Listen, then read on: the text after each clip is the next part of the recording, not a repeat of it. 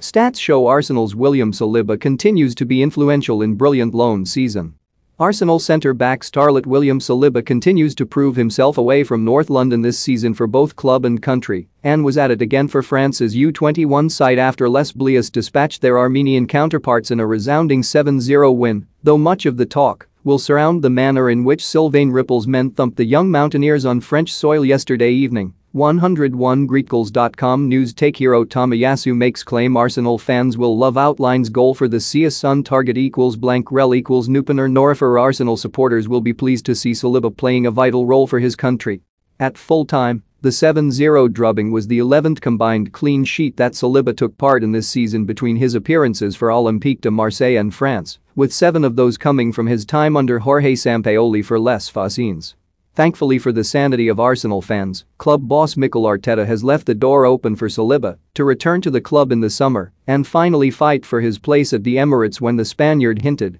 that there is room for him in the team. As Sampaoli's Marseille outfit sit third in League One and level on points with OGC Nice, many thanks will be levied in the direction of Arsenal pair William Saliba and Matteo Guendouzi. The young Gunners duo have both been key for their Chilean manager this term, receiving a great deal of faith and responsibility during their loan period and having repaid their boss tenfold in match after match for the South Coast side. But whereas Saliba may have a route back to North London in the summer, Guendouzi has made plain his intentions to leave the club and a desire to sign on with Marseille in a long-term deal. Marseille is sure to bring him into the fold on a permanent basis given their obligation to buy the French U21 international after the clause was included in his loan deal